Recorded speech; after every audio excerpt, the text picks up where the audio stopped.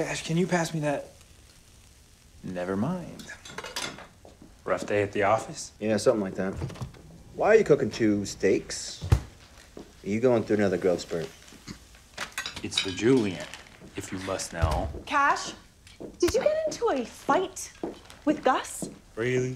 When were you gonna tell me that? Busted. Oh, and you knew. I You got a lot going on. I Do all of you McMurray men keep secrets? Who else is keeping secrets? No one. Never mind. is everything okay? Yes. No. Look, I don't want to upset anyone. Why would anyone be upset? Missy? When we were at JB's barbecue, this woman came up to Cash and I, and she assumed that we were a couple. And she, What? probably because we were there together. anyway, she was weirdly thrown by it. And she basically told me that whatever was between her and Austin, I didn't want to know. What would that even mean?